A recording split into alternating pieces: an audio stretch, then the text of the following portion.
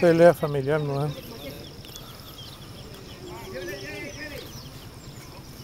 ¿Eh? Sí, ambas partes. Ambas partes. ¿Estás escuchando? no?